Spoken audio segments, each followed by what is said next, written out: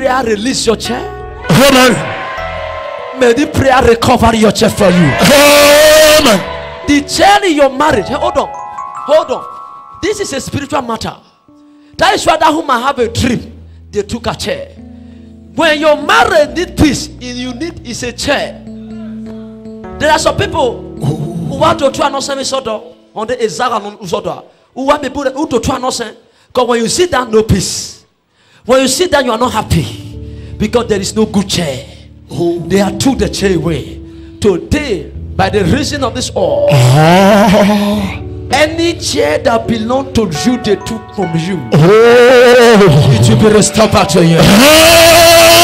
Amen. He that shouted the ladder, amen, shall receive the ladder. Amen. In Jesus' name we pray. Amen. Somebody shout power. Power. Before we go on, Daddy, what can you say concerning the power of God in the church? I have enough to say. So, Speak louder. uh-huh. so you know, once a day I first give a testimony for you for what God has done for me with because of that anointed water when I use. Yes. So he have done another wonderful thing for me now.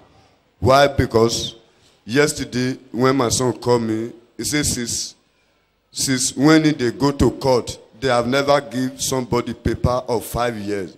Highest na three years. So, because your your did sir. sit down. so in own, he just bow to see the document when they give him five years, five five years paper. We are going to So ask that woman because of that, later. before I come to this church, so as Avelia said, I was running to native. Do- I spent money oh, from native doctor to native doctor. But when I come, when I come enter this church, if I manage come, you go bow say na fourteen naira go take pay offering. So if you are if you enter this church, just put your just put hope for what is in your man and by the grace of god he will recover it for you if you are if you move from here come on for here go to native native doctor again. God will never answer your prayer. Before god answer my prayer i i i I complain myself to god to forgive me my sin that i will never try it again to carry my machine to a native doctor place. So Jam your hand for Jesus.